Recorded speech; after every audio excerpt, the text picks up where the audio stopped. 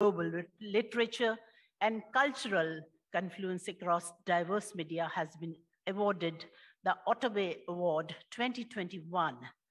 Under his direction, Seagull Books has published more than 500 books by major European, Latin American, African, and Asian writers, including the works by the Nobel Prize winners. Pragya Tiwari is a journalist who has written extensively on politics, identity, policy, and culture, and has edited several publications, including Tehelka, The Big Indian Picture, The Vice. She currently works as a policy and culture, cultural consultant and is also the creative director of Ojo Media and co-founder of the Indian History Collective. So now I welcome Naveen Kishore and Pragya Tiwari on stage for the session Publishing Without Borders, Seagull at 40.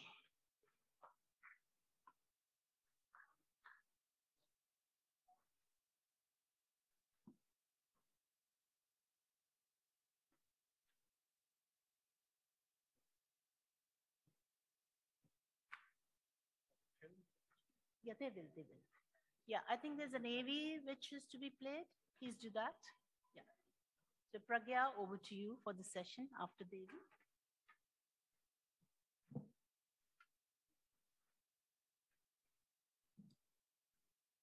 Thank you very much. And uh, one of the things I find for Naveen is that if it's been done before, I won't do it. People can't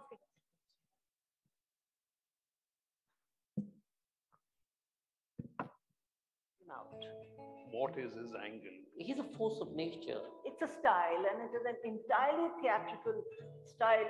The path less traveled, but found his way and shared it with others. एक visit में इतना लंबा impact होगा किसी publisher का किसी publishing house के दफ्तर का ये मैंने कभी एहसास नहीं किया If one talks about quality publishers, one has to put them right up on top of the list. वो एक हिस्ट्री का लेक्चर होता है और उस लेक्चर के बाद किनारे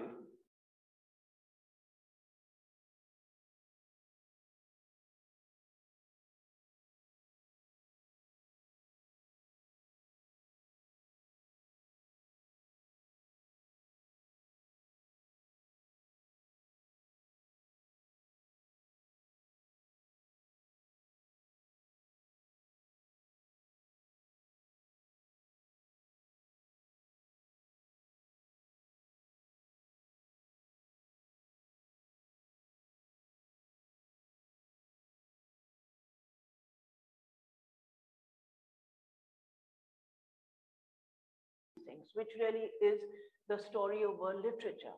You know, I regard myself as a reasonably well-read person who takes an interest in reviews. I do read the book review and the London review and the New York review and so on. At least I look at them. And yet this was a body of literature that was new to me. They were all writers of absolutely top quality. And I thought, my goodness, this is another world. And I found it an intellectually very exciting world. Poetry, prose, prose poetry, literary criticism, thought, philosophy. And so one started looking at the books much more carefully and ordering them. And then later on, delighting in the fact when Naveen said, well, if there's something you really like, just let me know and I'll send it. he decided that, okay, um, at midnight on whatever the date was, uh, was when Seagull was born. And on midnight of several days, he did several productions.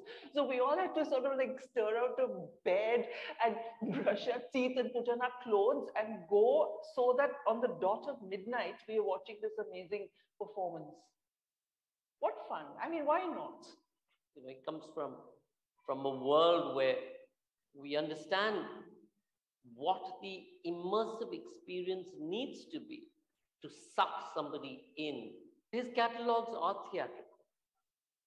So Nandini's designs are theatrical. uh, the very nature of publishing something that's so exclusive and such a collector's item is theatrical. Every single Seagull book, each book has its place in the world. You know, it needed to be there, it should have been there. Or even if nobody thought it needed to be there, once it was there, you recognize that it should be there. The one question he's asked in every interview is, what is your business model? And he says, it's, it is the funniest question I'm asked.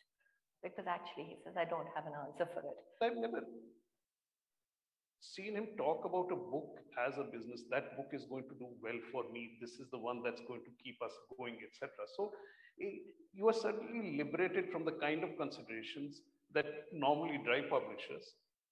You get the plan first, you get the vision, this is what I want to do, the rest is just logistics.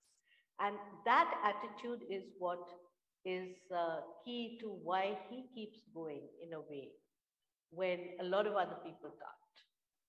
तो मुझे लगा, वाह, ये क्या दुनिया है? ये कोई प्रकाशक ऐसा भी हो सकता है? और दिल्ली में तब तक मैं एक दो प्रकाशकों के दफ्तर में जा चुका था, वो किताब के गोदाम नज़र आते वहाँ किताबें छपनी है और वहाँ से किताबों को जाना है। पर वो कभी ऐसा नहीं लगा कि वो किताबों का घर है। एक फ़र्क हुआ, मुझे लगा, यहाँ किताबें रहती हैं। Seagull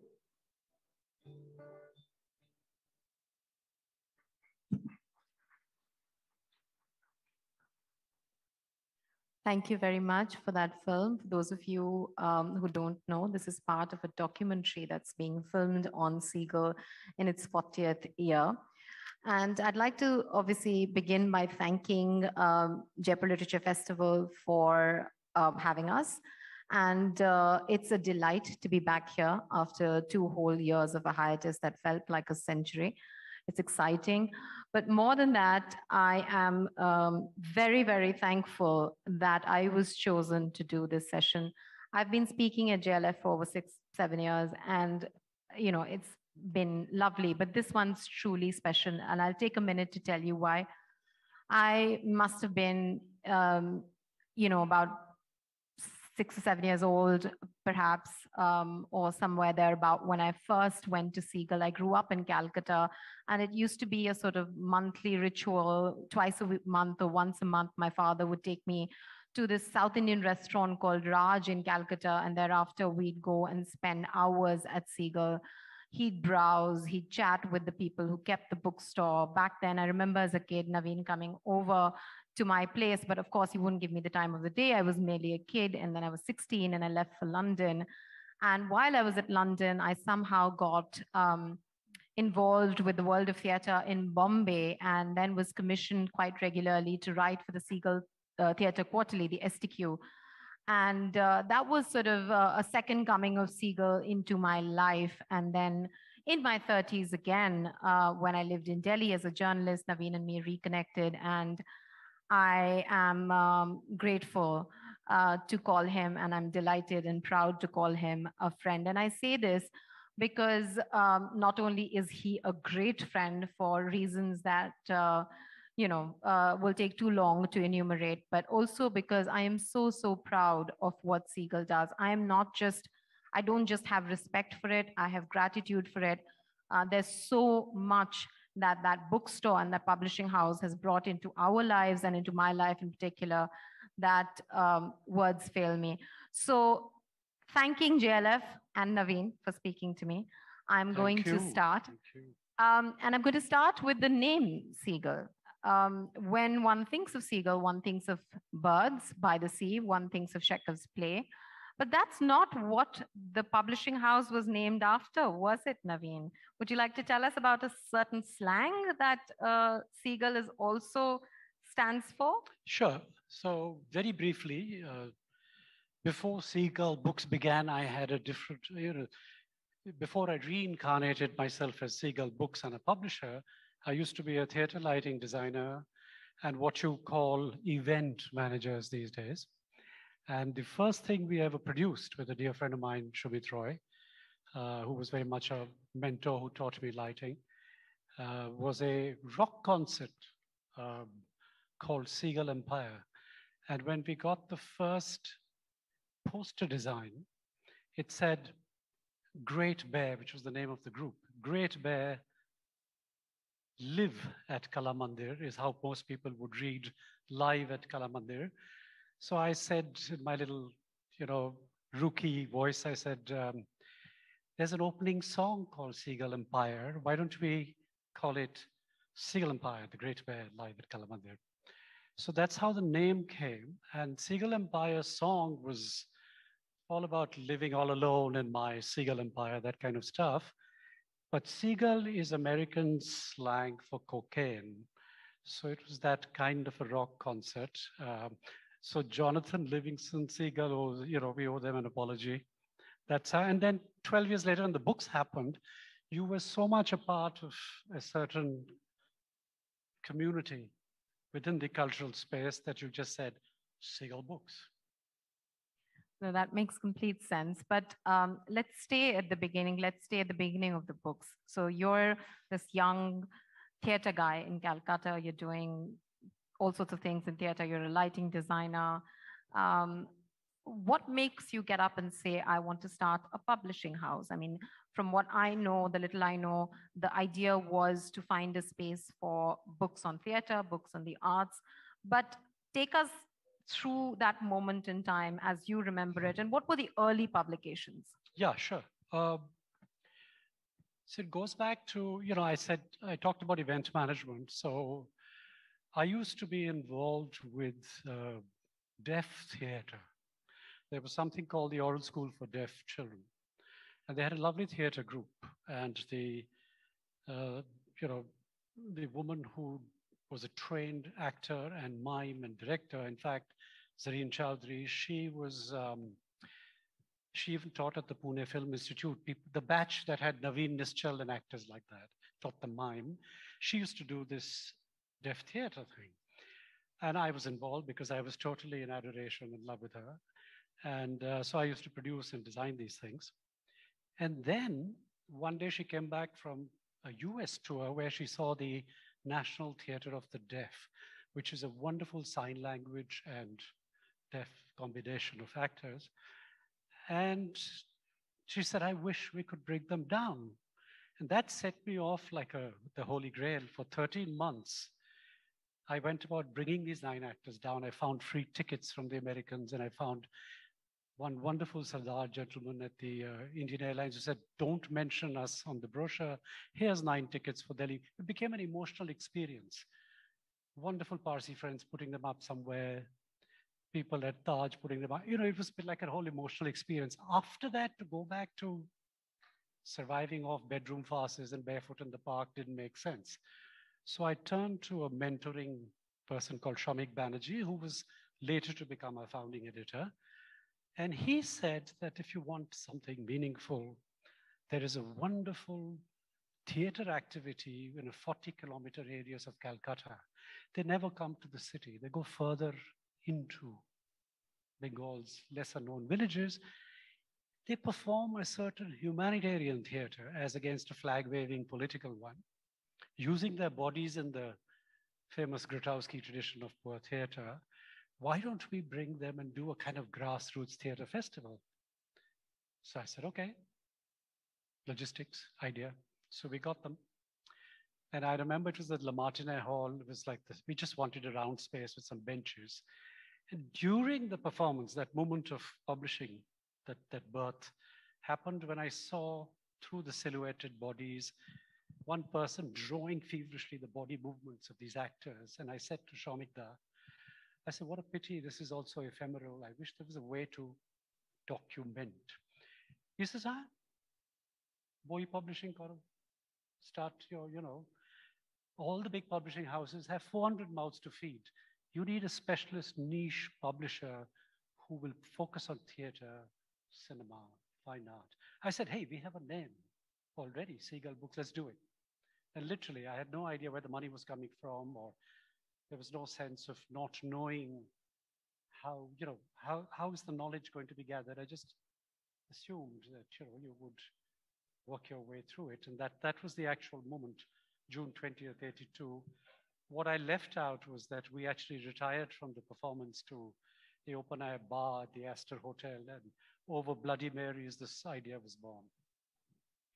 As do all good ideas. So you start off, you know, as a niche publishing house um, to document what is usually the ephemeral in your Oh, own you wanted the first books. Sorry. Yes. So where so we decided theater and we turned literally you have to remember we were surrounded by all these wonderful people who'd never been really published except in their own languages. So you turned to Badal Sarkar. And he said, Yes, yes, of course, translate it. And then we turned to a man called Oshit Pal, who used to design for me, and he had been researching the woodcut prints of 19th century Calcutta. That became another book. At that point, I didn't know how many to print. I printed 10,000 in 1983, and we still have 500 in print. So now they've become wonderful limited editions, but I had no clue that I should print less, you know. I just thought it will sell. We wanted a film script because that was the time when the new Indian cinema and Ray Benegals and and as often happens in uh, the Indian, you know, the cinema world, it's always Ray Sen. So we trooped up to Satyajit Ray's house, which was always a kind of open thing. And we told him about our plans with great excitement. And he hummed and hawed in his wonderful voice. And he said, uh, I, It's lovely, but I, I want to see how this shapes up. So we trooped down, etc., and went next door to Mrinal Sen, who said, Take it. So it was a whole personality difference, right? So the first script was In Search of Famine. And at that point, I was traveling, Richard Schechner, who was the guru of performance studies, and he was traveling, he had coined something called environmental theater, which means if we're doing Mother Courage in this hall, all of the audience is sitting on slotted angle, you know, like a Meccano set, a giant Meccano set. And the performance is happening in the middle, so that the final scene with Mother Courage pulling the wagon is police connecting the audience platforms, and it's as if she's pulling it all. It was all wonderful. So I was the stage manager and designer for all of that. So we turned to him, and he said, I have a book on the Ram Leela. So you had a theoretical one. So one theoretical one signaling you want to do drama theory, play scripts in translation.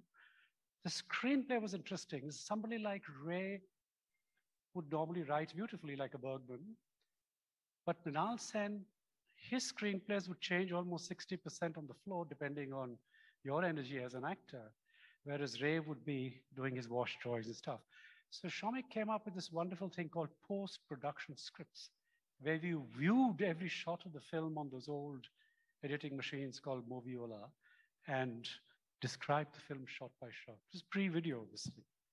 So that was the first four books. They're still in print, by the way.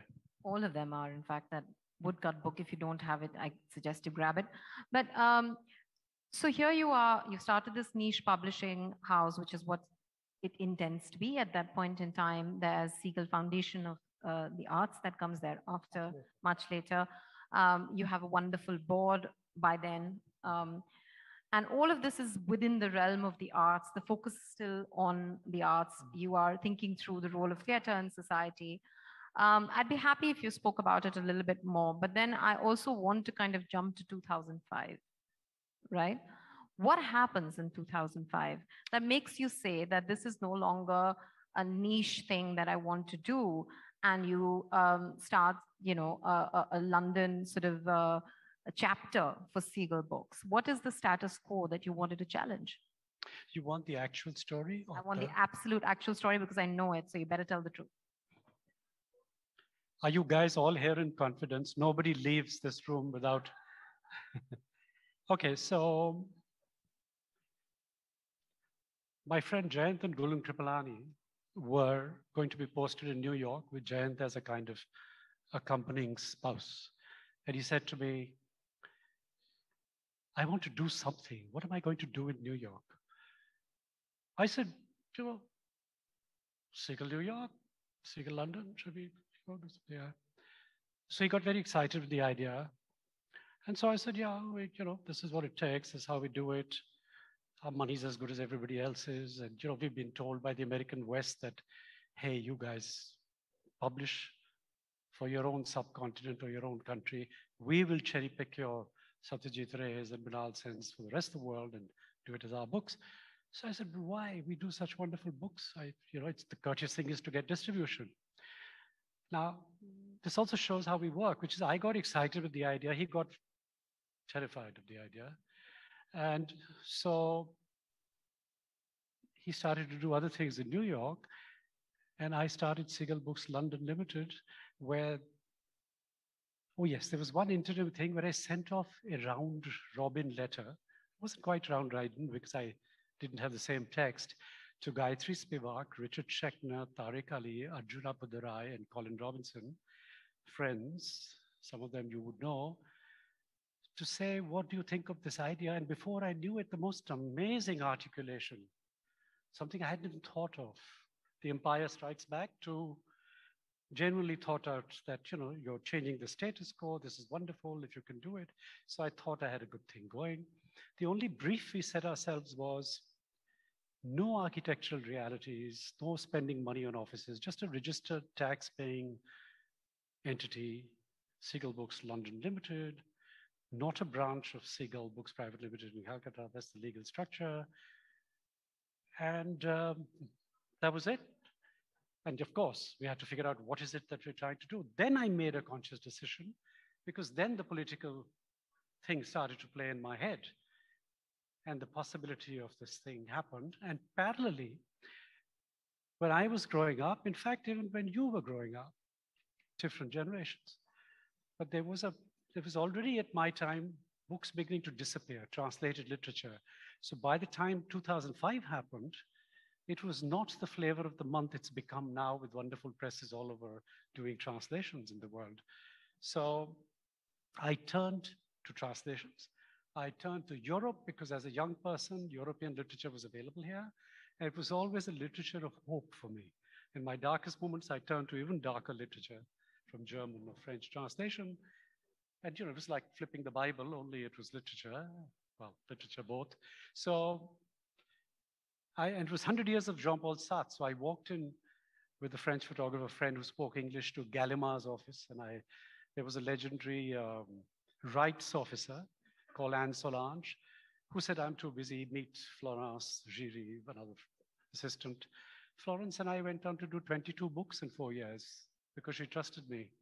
The first questions were a bit daunting, like, why are you publishing Sartre and Debord and Artaud for Calcutta? I said, no, no, no, I'm distributed by the University of Chicago Press, da, da, da, da, da, da, you know, that kind of stuff. When the first books came out, you went to the same translators who were used to translating Sartre or Adorno or Celan Bachmann letters. They, they kind of got confident. But my knowledge stopped at the dead ones, because that's what I'd read. I didn't know what you were writing as a young person, a writer. So I did something which I'm told now was very radical. For me, it was the normal thing to do. I sought help by writing letters to translators and saying, hey guys, don't you have a wish list? What should I do next? And there was silence first and then a flood because nobody asks translators. They pitch, they beg, they plead, they send proposals, and you're supposed to figure out what you want. But to me, it was a natural thing to do because they were close to the ground with all these wonderful writers. I didn't know these languages. I had a kind of intuition. So people often ask me, hey, you don't know German, French, Italian. I don't have any answers. We've, we've, we've done over 500 books in 15 years, and there's four gone wrong in the sense we felt all of us, why did we do this? Which is not bad.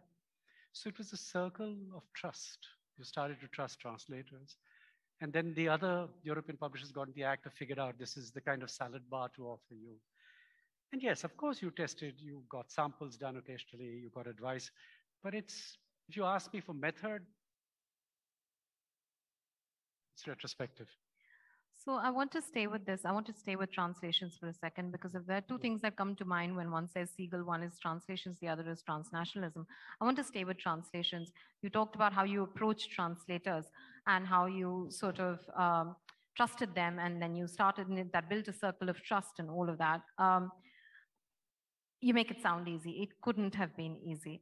I want you to talk a little bit more about the conundrums, the challenges of taking on translations in so many different languages and also the importance i know uh, you know you you tend to be you're inclined to be very very humble but you need to tell us a little bit about the importance of the work that Seagull has done when it comes to translations? Because that's quite a legacy by now. Okay, so the first bit of the question, if I may be allowed to deviate into a little anecdote about failure, right? So typically what happens is that either I look at the book, where do I first get the, you know, what is your first interaction with that possibility of that buying of rights from, say, a German publisher? It would be at a Frankfurt Book Fair, it would be a catalog of rights, which would have 250 words, not always well written, giving you the synopsis and what the book is about and the background of the author. So your first honing in was the instinct. It Could be anything. Could be you like the name when the summer came, the rain came, the, the, the, whatever. You've also chosen like that, unfortunately. But after that first instinct, when you followed it up, you maybe requested a sample for a chapter with a translator. You appointed a translator in discussion with the author or the publisher. All of that kind of stuff would happen. Now, all this is fine. And then eight months later or 12 months later, when it came and it worked for you and your three colleagues, you said, wow, we chose well. But sometimes in your excitement, you two things, two very short stories. One was a political one where a philosopher I will not name at this moment, and you will allow me that. Um, French, I grew up reading, saluting, loving, all of that. Suddenly, two of his books appeared available, conversations with him. So a translator, Chris Turner, and I got excited and we bought at X thousand euros the right to publish this. He translated the first one. And suddenly, I got a letter from Tariq Ali and Benedict Anderson, dear friends and authors, who said, You can't be publishing this guy. I said, Why? Look at this, look at this, look at this. And I got a barrage of links of articles of his current pronouncements, which were so Islamophobic. There was no way. So you picked up the phone, you sent the translation back to the publisher, you lost your 4,000 euros or whatever was involved.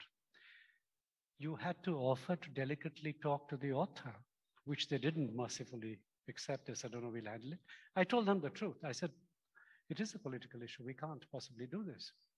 So that was one kind of thing, right? Where my lack of the language led to all of this, and you pay the price for it. We paid the translator, we gave it from our own blessings, etc., etc. The second thing was at Frankfurt, a dear translator in the early days, Katy Derbyshire, I think she was, yeah, she walked in with great excitement and said, You have to publish, you have to get me this book. Some 28 year old Swiss German writer called Dorothee Elmiger. And I said, Who is the publisher? She said, DuMont in Cologne. I said, Oh, they're the next appointment. So uh, Judith Habermas, the great Habermas's daughter, is the rights manager. She comes. Before she begins her pitch, I say, Hey, I want this book. She says, Don't do this to me. I'm supposed to sell it to you. I said, Well, Katy wants it. Next thing you know, you do this book, it comes out wonderfully. All of this happens. Four years later, Dorothee writes a second book. So, what would you do? You go to Katy, to Katy, she translates it, and the author hates it. I love the translator. I love the author. Translator loves author. But you have a fully paid for man translation, which hasn't worked. So you get back and say, will you guys sort it out? And she says, but no, I think that in English it has to be like this, like. She says, I don't mind that. But I don't have any punctuations, and you've punctuated to make it simple for the reader. So I sided with that. So we paid off the translator. We did three samples after that, all paid, all rejected. Then the author found a translator. Meanwhile, I've read five translations, and they were absolutely superb. That the final one that she chose, and I could see that. And there's countless such stories, but this also happens, just to tell you that it's not all. It always sounds easy in the thing because, you know, after it's happened, it is easy. I uh, was going to come to this later, but because you brought uh, this anecdote up of um, returning, um, you know, of, of letting go of a sum of money uh, after you'd signed an author on because of their political views. Naveen, for you, publishing has always been sort of underpin your approach has always been through your values, through your value system, through your um, belief systems, your political ideas. Um, and that's increasingly rare. I mean, it was always rare when it comes to publishing. There are notable exceptions, of course, but um, by and large, that's rare. And now it's in increasingly rare. Um, I, I, don't know if many of you know this, but Naveen also sort of at some point got rid of certain clauses that um, shackle authors with um, having to fight sort of libel and, and those sorts of cases, uh, sedition cases, and, and you know the onus is on them and not the publisher. So I want to talk to you a little bit about, I mean, it's remarkable. It's something that deserves rounds of applause, but I also want to ask you what that sort of cost you, what that journey has been like, and what uh, what how do those values serve you today and in uh, in a very uh, unprecedented political climate?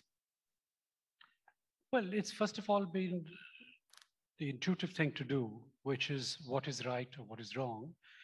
You know, we started the Seagull School of Publishing, and Here's a gentleman sitting up front whose wonderful country, Norway, supported it, made it possible. And um, one of the sessions that I do beyond, it's called Beyond the Contract. And what it teaches our young is that you, two people, and we should get into this conversation, when they're doing a contract, there's just that much you can foresee. If you're Oxford of letterpress, you foresaw the ebook. So if our contract was based on that, as our earlier ones were, we have ebook rights in a different thing. But if you were Seagull, you couldn't foresee, you didn't have the patience to sort of foresee. So when you had, for example, your um, author suddenly getting a Nobel, and you have a contract from 20 years before, which gives you the right for all languages. He gets the Nobel, you're at Frankfurt. Every single country in the world wants to publish a 20,000 worth in the translation. You sell 32 rights at 132,000 euros. It was an intuitive act of, hey, things would have been different if I had contracted you today. So I sent 50% to him. Right? Now, it sound very romantic and goody-goody, etc. But it's just a lot of people like me practice this. They, they just do it because it just seems right to practice a certain ethics, including in the art world. We're often, you buy something at 1200, you sell it for 22 lakhs. Well, you, obviously it's your property, but it's nice to be able to do those percentage sharings differently because eventually money is a conduit, right? And everybody uses it to do something with. It's not, to me, it's a common pot. It's very important. My relationship with money is all about it's there. It's it's it's a kind of uh, anybody can use it. You know, as long as you get things in the arts done, that sort of thing. I don't know if that totally answers your question, but no, it does. Um, but the question I'm, I'm uh, that follows naturally from here is, tell me what has made um, Seagull stay alive, thrive, and stay ticking okay stay. because this is I, I, have no idea i mean I, I feel like i know seagull for 40 odd years mm. when publishers with deep pockets are struggling are shutting down you are a man who has uh, stuck to his guns in terms of the kind of books you want to publish your ideas your values and not only are you alive and kicking at 40 you're going from strength to strength. You have a roster of authors uh, that is absolutely fabulous. And not just because they've won nobels or bookers or you know it's just an, an, incredible collection of authors. Tell me what goes into the secret sauce. Well this is a very difficult question. Only because i well very genuinely don't really know how it functions which is here's what happens when in 2005 we decided to set up the Seagull London thing, Obviously, you would assume vast sums of money are needed. Not vast, but sums of money are needed. Now, it was also the first year that we had got out of the red. So we would have been very happy as publishers. Our backlist was our strength. The problem with most publishing today is it's all front list oriented, right? So we do Jane Fonda and Pragya Tiwari and we sell 60,000 on animal rights and whatever. But will you take your great grandchildren to a bookstore and say, I want this book of Arnold Schwarzenegger's gun law, something or the other. No, but the front list brings them immediate gratification. But you would take them for a very strong backlist. And it's across the backlist that your cash flow happens. We have over 900 books. They're all in print. So the two, three, four, five, six copies. Second thing is you don't create a morgue out of your archive. Archives have to be living things. You have to reinvent your authors. Even when they've become Dodo land like Mahashweta, you start doing your graphic novels. You now start doing your audiobooks. You bring out a paperback. You mix and match. You break up the three stories and breast stories and bring them out as Stanodayani or Cholike Piche. Or you keep reinventing. This is not rocket science. European publishers, European publishers have always done it. Before the advent of literary agents, the rights manager's duty was this. Before the rights managers, publishers did it. So I am a kind of practicing publisher who believes in that. Certain books are constantly being printed and reprinted. The Mahashwetas are a treasure trove of cash flow. Play scripts I did then, Habib Tanvir, Ghasi Ramko, these are selling in the 10,000s because they're texts. People said, why are you publishing this? I said, I don't know, it needs to be documented. The fact that they were, it wasn't strategy, I couldn't foresee anything. 30 years later, they became text. So it's that kind of cash flow. Two, you're always in debt. Well, luckily, the last five years, we're not in debt, but which is wonderful given the pandemic. We also sometimes reinvent for other nations. For example, and this is a concrete example, which is that let's say that we have a German list of 162 titles. The Germans give me something called the Goethe Medal in 2013, appreciating. In my head, the books are actually a minuscule part of what I've done with Germany because my relationship goes back to 72 when I did theater with them and jazz and dance and you know all kinds of stuff. So it's like a lifetime thing. So the man who pins it on me, suddenly one day in 2018, it strikes me, I need to find some money. So I write to him, he's in Munich, he's the president of Goethe, and I say, when you come to Frankfurt this year, instead of inviting me to your party, come and have a coffee at the stall. I want to reinvent the 162 books, 100 of these into the German paperback library with the series design look. And I need 4,000 euros per book because translation has been paid for. It's going to cost twice as much, and I will meet you 50% of the way. And it reinvents that entire thing. No one's ever done it. So he comes, he meets, and for four years, you have a cash flow that starts with 100,000 euros. I'm saying there are ways genuinely, but you don't know the ways as strategy. They come, they, you unveil as you go along, however silly it may sound as a business model.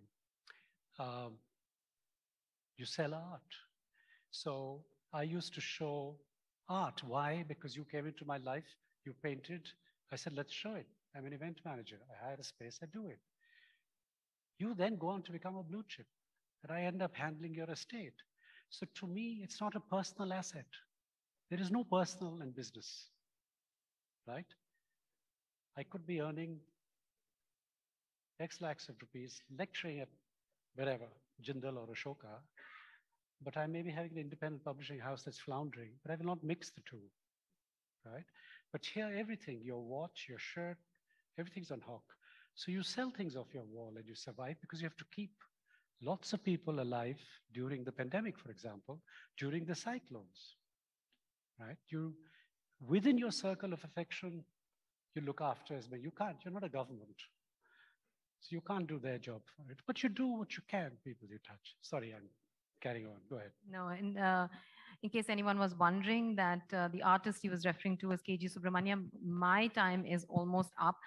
Um, I am going to ask one last question and then open it up to the audience. You talked about keeping your archives alive.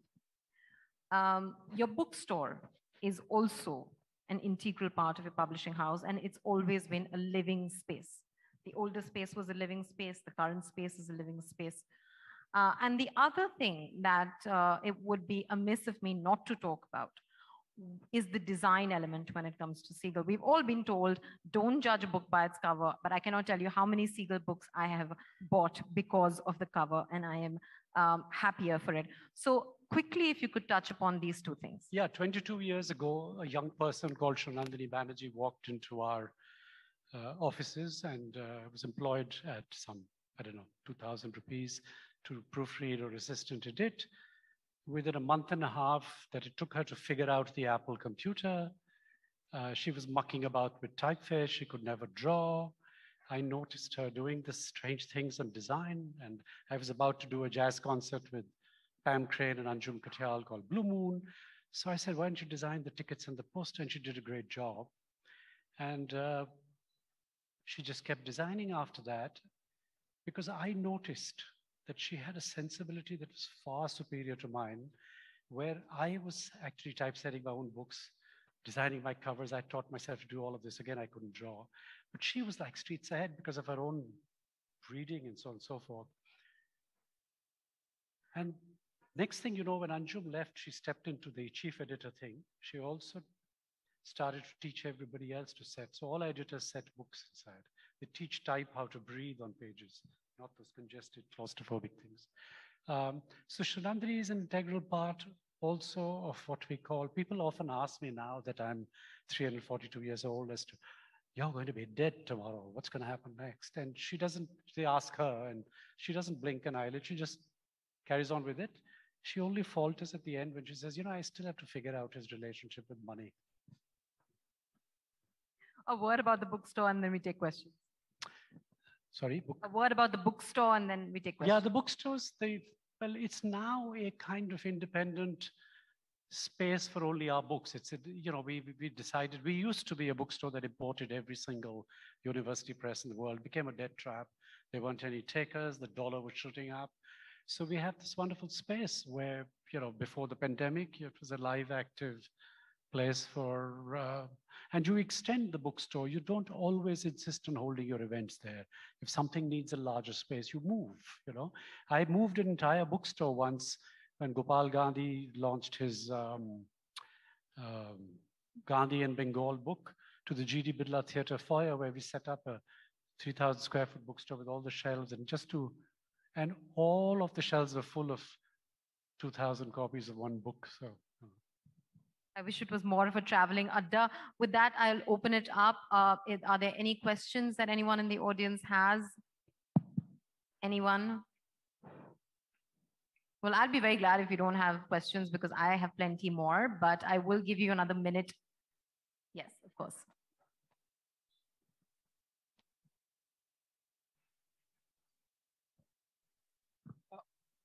Hi, sir. Um, I'm from Connected to India, and we're actually a Singapore-based online media platform. Um, during the pandemic, we saw that the performing arts sector was hit hard.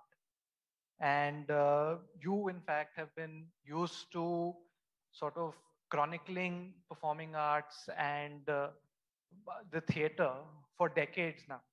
So I just wanted to ask you about the synergy you see and how this symbiotic relationship of uh, so, uh, with performing arts get now because of the pandemic getting used to performing in front of a camera and, rather than a live studio audience. And seagull already with decades of experience in uh, chronicling theater and other performing arts uh, se sectors how do you see this synergy evolving in the future? Even if we are no longer forced by the pandemic to uh, restrict live events? So, you know, there were two phases of the kind of documentation from what I can make out. One was when, for about 12 years, we were doing something called the Seagull Theatre Quarterly, which died an unfortunate, uh, not quite natural death. And we regret it, but, uh, you know, it exists as a free downloadable archive. Um, the other documentation was the fact that we never lost sight of the fact that we started as theater publishers in translated literature and so on and so forth. So you did, except for a five-year period when I deliberately, quote unquote, neglected what I call the India list, because I was too busy playing first world publisher to build a synergy of books to which we could then ride, piggyback on with this. But theater documentation shifted to the world. So we were doing Palestinian stuff and we were doing Syrian theater, Japanese, all of that. So continuing to document in the only way I can because I'm no longer involved directly with performance as such, right? Uh, So that continues very strongly. We have a very strong list called enactments, which is theoretical performance studies. We have in performance, which is plays of every political who and you know you could think of. But your question, I thought, would have a different sense for me, which was that you were talking about the problems faced by live performances in the pandemic? I mean, were you sort of. My uh, question exactly was that during the pandemic, they were forced into a new model. Uh, the Going performing arts online, sector. Yes. yeah. I online. am not a, I mean, I accepted that, like one accepts realities, technology changing, all of that. So I think a lot of them put it to good use. I am personally, as Naveen Kishore, not a great fan or advocate of the, uh, see, when you do, to do it for your survival, I can understand. But there were two kinds of people going online. There were the ones who were trying to survive and turn it into some kind of a module, right? Why the JLF is a survival story to these two very difficult years. He makes it look very easy. But there were lots of people on the bandwagon who were just doing it so much of a hurry. And I kept saying, take a, you, you need to pause a little. You need to find the balance. You don't just switch and then not go back into the first opportunity you have of in performance. I think we have time for one more question. Did you have a question? So my question was, doesn't translation necessarily kill the spirit of the book? Doesn't translation necessarily kill the spirit of the book? Kill the spirit of the book. Yeah, for example, I would say procrastination in English, but in Hindi, I would say mujhe alas aa tha, which doesn't necessarily make the same effect on the reader's mind.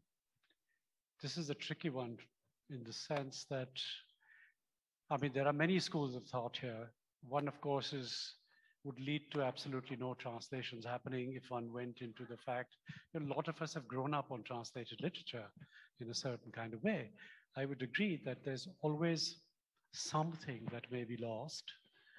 But if you are good at what you do and you don't just translate for the sake of you know, if you decide that I'm going to translate five different voices in the same perfectly correct grammatical English, then Mahashweta and Toni Morrison and, you know, uh, whatever can sound the same. You, you need different registers. So the translator's job, which is often thankless, is a very difficult one. They have to find in the language that they are translating into similar resonances, which means the author has to also have enough trust and generosity to allow that. If you sit there and work, which I do closely, I'm facing that problem. I have a, uh book out which is getting translated into Hindi and Bengali and Marathi and Malayalam and so, and it's driving me up the wall because I'm saying, yeah, just do it. Great freedom, take liberties. But very few of them are taking liberties. They want to keep getting back to the. So it's an interesting process. Um, I'm carrying on like this because I don't have a short answer for you. Well, speaking of uh, long answers and uh, longer questions, our time is up, I've been told. The book that Naveen is referring to is called Knotted Grief. I hear that it's a very good book, and he will be talking uh, on the 14th to Ranjit Hoskote about the book. So uh, please attend that session. And uh, thank you for listening to us. And here's looking forward to the next 40 years of Seagull. Thank you, Naveen. Thank you, Pragya. Thank you so much. We would like to thank Naveen Kishore and Pragya Tiwari for the session. Thank you.